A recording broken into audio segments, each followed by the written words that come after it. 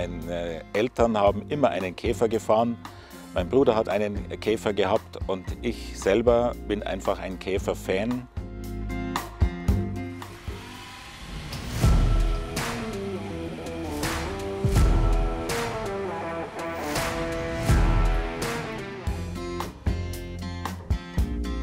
Mein Name ist Markus Krell. Ich bin hier in Tiffenbach wohnhaft und arbeite auch hier als Pfarrer für vier Gemeinden. Mein Garagenschatz ist ein VW Käfer, ein schwarzes Teil.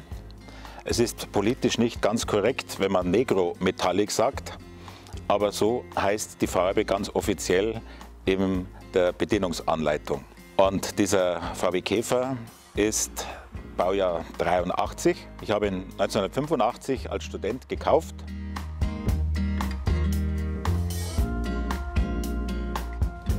Ein Kollege im Priesterseminar damals hat mich darauf aufmerksam gemacht, dass ein Käfer in der Zeitung annonciert war, und zwar fälschlicherweise unter Nutzfahrzeuge, sodass ich als einziger Interessent dann bei diesem Verkäufer aufgeschlagen bin, einem älteren Mann, der mit 78 Jahren nicht mehr fahrfähig war aufgrund einer Augenerkrankung.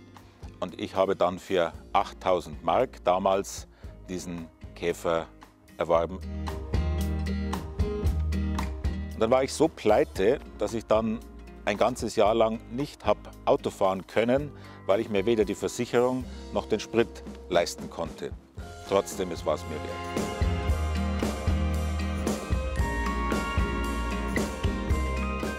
...200 PS hätte ich gerne, aber es sind leider nur 34 PS. Es ist ein 1200 Kubik äh.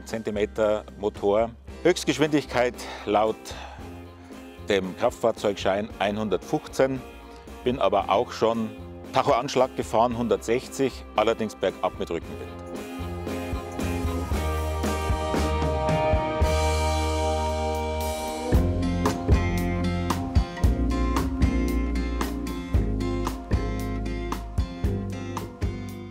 Wenn ich in dem Auto sitze, dann fühle ich mich natürlich ein bisschen an die Bete Jugend erinnert.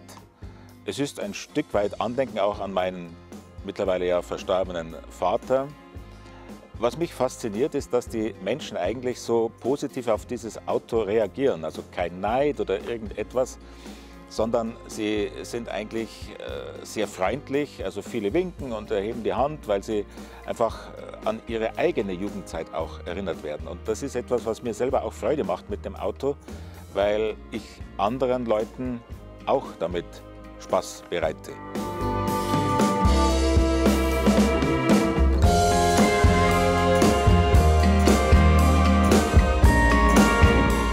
Das Besondere an diesem Auto ist, dass man einen ganz anderen Fahrbahnkontakt hat als in einem hochmodernen Auto.